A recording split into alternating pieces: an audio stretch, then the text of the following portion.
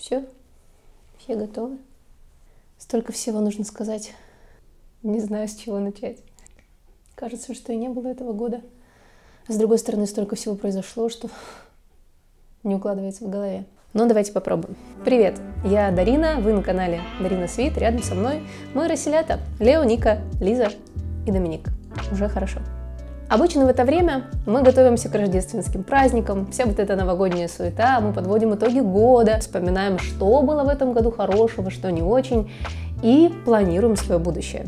Но сегодня это кажется просто какой-то параллельной реальностью, второй вселенной, потому что все то, что было так важно раньше, оно практически утратило всякий смысл. И наоборот, простые, банальные вещи приобрели новую ценность. Я веду этот канал, этот блог уже много лет, но за последний год этот канал, я бы сказала, превратился в такой личный дневник, в котором я довольно редко делюсь основными, так скажем, моментами из своей жизни и жизни моих питомцев. Как вы уже прочитали в названии, это видео будет о итогах года. И сложным ли был этот год безусловно.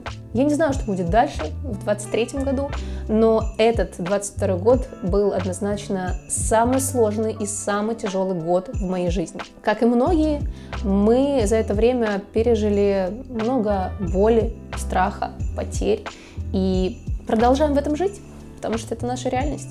Но одновременно с этим война и многому меня научила. Например, вынужденно мне пришлось очень много в этом году ездить, путешествовать налегке, там, с маленьким каким-нибудь чемоданчиком, практически без вещей, что раньше мне давалось довольно трудно. Я познакомилась э, со многими замечательными людьми, и это общение, оно было настолько искренним, настолько открытым, потому что вот ситуация располагала, да, как люди мыслят, что они говорят, что они делают, какие у них поступки, какое отношение к этим всем вещам. Это впечатляет. Я очень благодарна за новые знакомства. Но мне кажется, что я изменилась полностью внутри. Другой вопрос, какой ценой это все далось?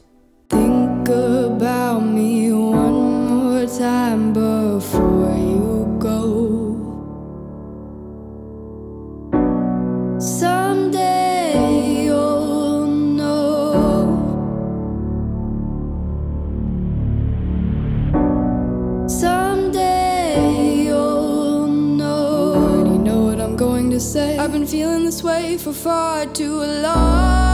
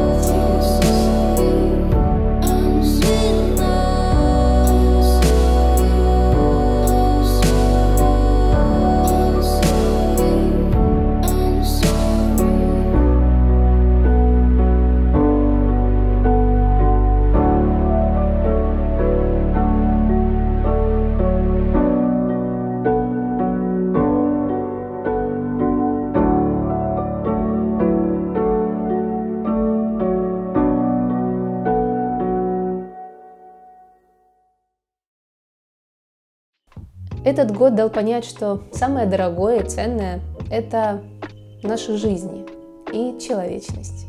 Что каждый день, который у нас есть возможность прожить, это большой дар, который мы должны ценить. Сегодня я благодарна за то, что у меня есть возможность жить, что вся моя семья, все мои собачки со мной, рядом, живы, и у меня есть возможность даже творить. Это ли не прекрасно? Именно в этом году я все-таки решилась наконец-то создать музыкальный канал, и хоть не очень часто, довольно редко, но выпускаю каверы на знаменитые песни, и мне очень хочется делиться с вами музыкой и творчеством. Какие планы на будущее? Мы в Украине, я думаю, что перестали загадывать наперед и прям строить какие-то долгоиграющие планы, потому что в условиях войны, простите, это невозможно, поэтому мой основной план — это выжить, без шуток. Пусть, я не знаю, как это звучит, но это правда. Выжить и сохранить жизни своим близким, своей семье, своим собакам. А остальное по мере поступления. У меня есть определенный вектор направления, куда мне очень хочется двигаться, Поэтому я буду очень стараться. Я очень хочу продолжить заниматься ведением этого канала, созданием контента, потому что ежедневно я получаю довольно много отзывов о своей работе. Я буду очень рада вновь быть вам полезной. А, еще я хочу научиться водить машину.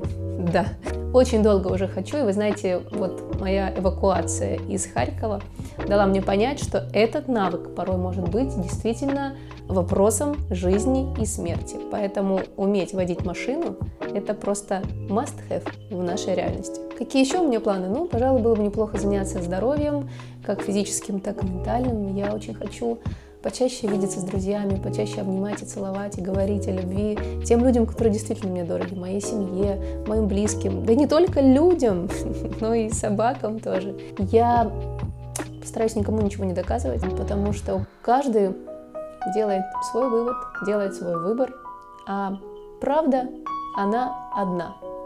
И даже если меня не получится сделать ничего из всего того, что я только что перечислила, ну, мечтать мне еще никто не запретил. Ну что, нам, похоже, осталось только поздравить всех с наступающим Новым годом. А, нет, подождите, так дело не пойдет. Та-да! Вот такие у меня новогодние расселята. Энтузиазм прям плещет из нас. Я забыла новогоднюю шапочку, уж простите, но, в общем, друзья, вы поняли. Мы хотим от всей души поблагодарить всех, кто поддерживает нас и словом, и делом. Мы передаем большой сердечный привет из Украины и хотим пожелать всем здоровья, добра, любви, конечно же, мира. И самое главное, чтобы все были живы. До встречи в новом году. С наступающим! Пока-пока. Такие мои зайки! С Новым годом! С Новым годом!